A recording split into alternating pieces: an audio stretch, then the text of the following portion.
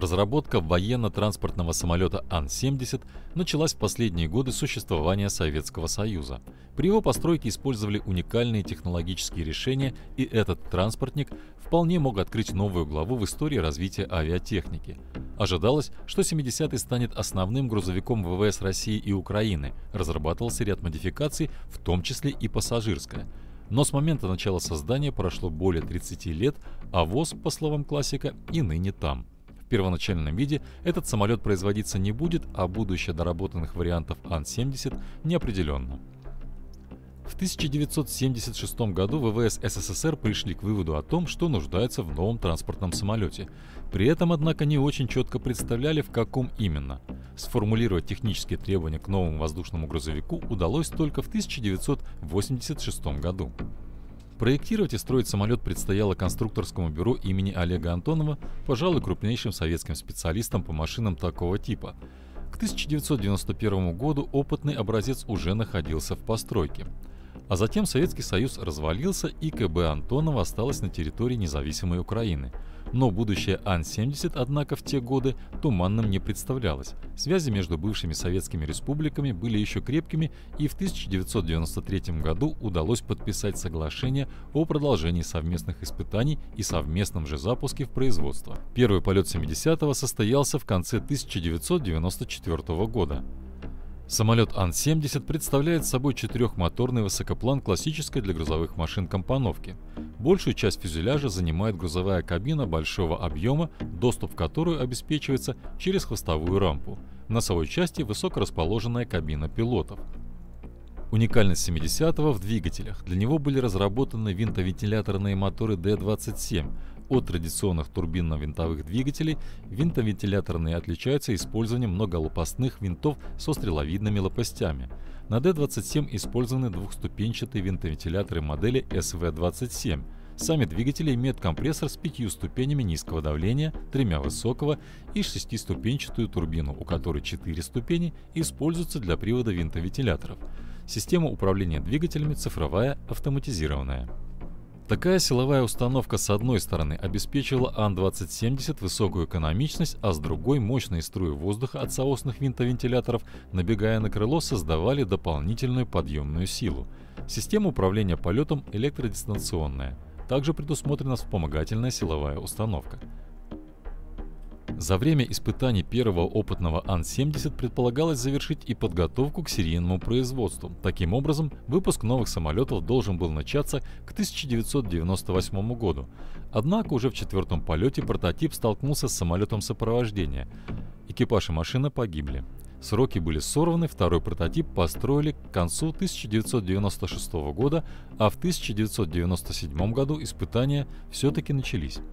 В этот период будущее проекта казалось благополучным. В ходе тестов Ан-70 ставил национальные и мировые рекорды, первые лица стран уверяли, что обязательно примут новую машину на вооружение. Но в 2001 году в Омске на взлете отказал двигатель. Самолет, который удалось посадить, получил тяжелые повреждения, но, к счастью, погибших не было. Несмотря на разлом фюзеляжа, аварийный самолет удалось восстановить, причем там же в Омске, испытания удалось завершить.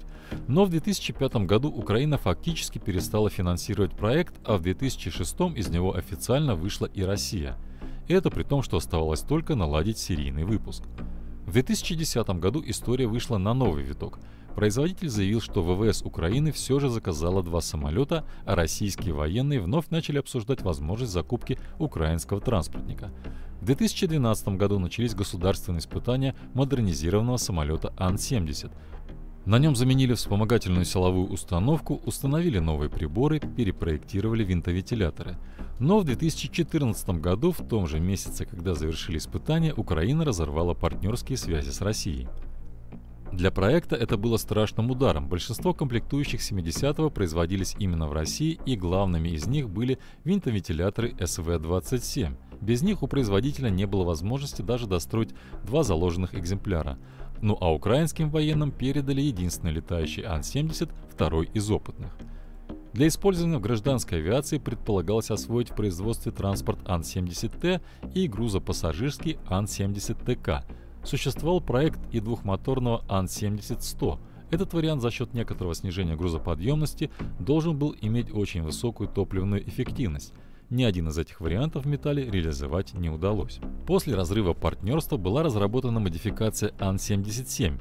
На него планировалось установить 4 реактивных двигателя CFM-56, однако продемонстрирован публике был несколько иной самолет, о чем расскажем ниже.